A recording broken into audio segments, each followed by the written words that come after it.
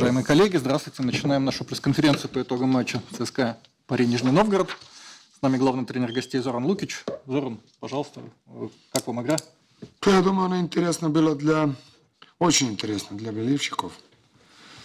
Могу разделить на две части. Первую половину, даже и первая четверть, где-то там первая плюс несколько минут второй четверти, к сожалению, очень много, много тактических ошибок, где реально мы просто сделали подарки команде ЦСКА. Это подарки. Это, если бы они тут создавали, него просто плохая коммуникация, плохая, э, плохое принимание решения.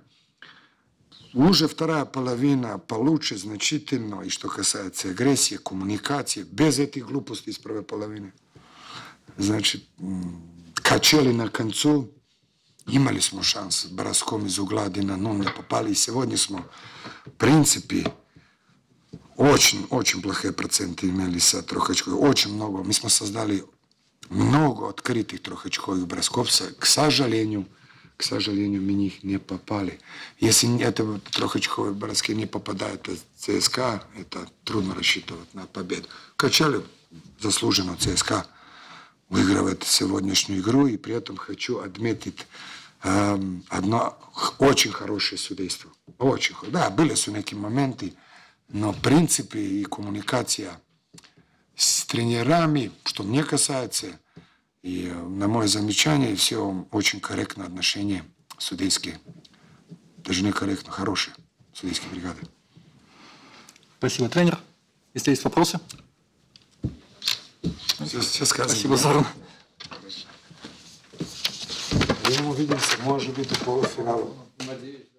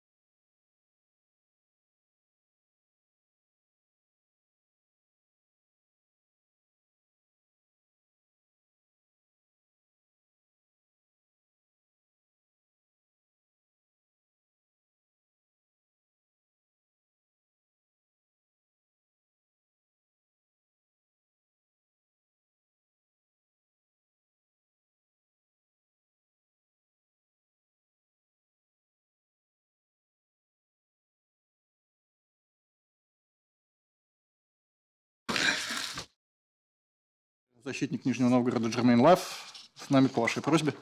Uh, Jay, please, uh, your opinion about this game. Um, uh, just lost to a very good team, best team all year. Um, I just think that from our perspective, we didn't come to the game very focused. I think we, um, for whatever reason, we didn't come with the physicality that we needed to, and we didn't start the game the right way. And um, you can't do that against a team like that. And um, halftime, we kind of, you know, um, played our our brand of basketball, and you know, kind of got back in the game. А Мы проиграли очень хорошей команде, лучшей команде этого сезона. С нашей точки зрения мы очень, э, очень были собраны в этом матче, но в начале матча нам не хватало жесткости. А Во второй половине мы стали показывать нашу фирменную игру и э, вернулись, вернулись в игру и имели шанс. Um, my yeah, my shoulder. Um, I actually injured uh, injured it a little bit in the in the cup um, against uh, Kimki. So I just been trying to trying to manage it and you know try to stay as loose as possible. But I'm fine. Немножко повредил плечо во время игры с Химками э, в Кубке России. Ну, Просто вот этот лед это немножко такое как бы, пред- пред- предупреждение, что ли, какое-то серьезного повреждения. Касается вашей игры, это лучший результат в сезоне или нет? Э, 31 очко. 3-4. 34? Is it the best game for you offensively this season? Вас? yeah, I, I, I believe so. Да, думаю, что да. Еще вопросы?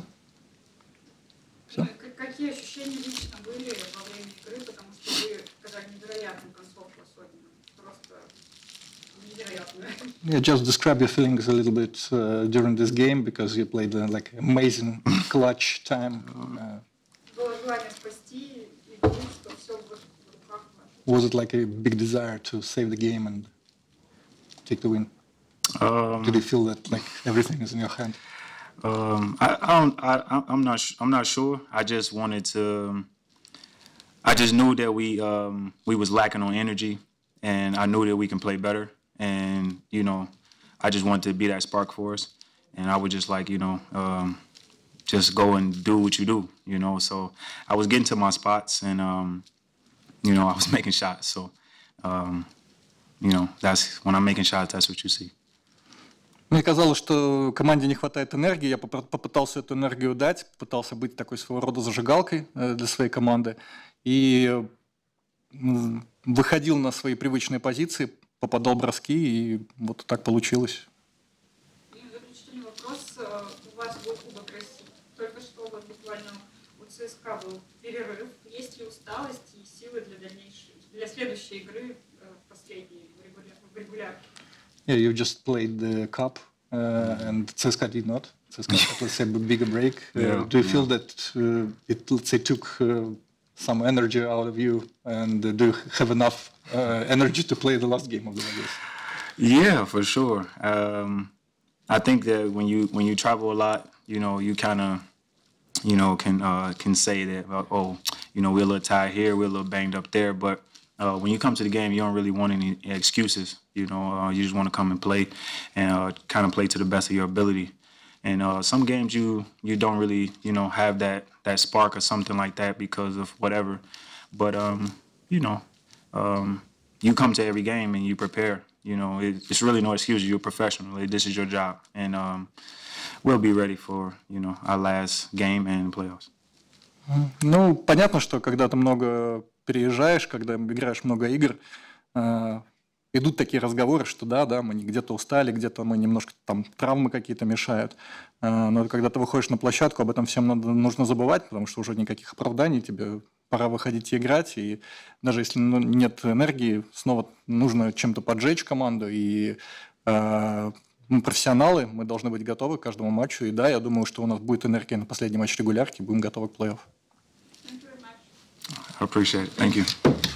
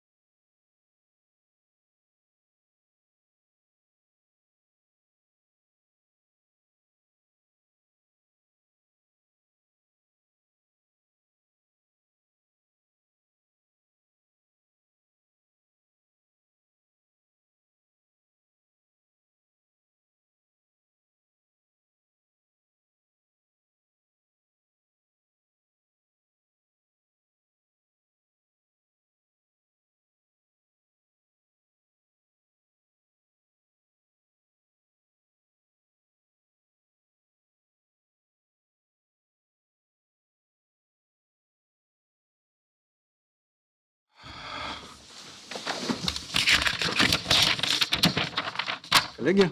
Э, Продолжаем с главным тренером ЦСКА Эмилом Рековичем. Э, Тренер, пожалуйста, ваше мнение по матчу. Uh, first of all, I would like to congratulate uh, Nizhny on the fight and on the one um Cup of Russia. Yesterday, uh, like uh, a couple of days ago, they won there the cup and uh, they played a really good basketball. They continue to do this also on this game here. Uh, although in the first quarter we played really uh, well and uh, we had a sufficient uh, difference, but in the second half, uh, especially in some moments where uh, we dropped down, they have used their chance. They come close to us, and we had a interesting game at the end.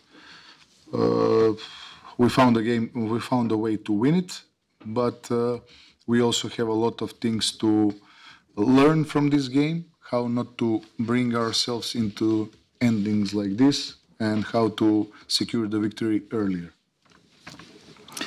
А, Поздравляю Нижний Новгород с борьбом, борьбой в этом матче и с тем, что они э, пару дней назад э, выиграли Кубок России. Они там показывали очень хороший баскетбол и продолжили э, показывать этот баскетбол в сегодняшнем матче. А, Мы по-настоящему здорово сыграли в первой четверти, мы добились доста- достаточно существенной разницы. А, Но во, втором, во второй половине в, часть, в некоторых моментах мы стали действовать хуже. Э, И соперник использовал свои шансы, и в итоге игра получилась интересной в концовке. Э, Мы нашли способы э, добиться победы, но тем не менее нам надо извлечь, ошиб- извлечь уроки из, этого, из этой игры и научиться выигрывать эти матчи раньше, не давать сопернику шансов вернуться в игру. Пожалуйста, вопросы?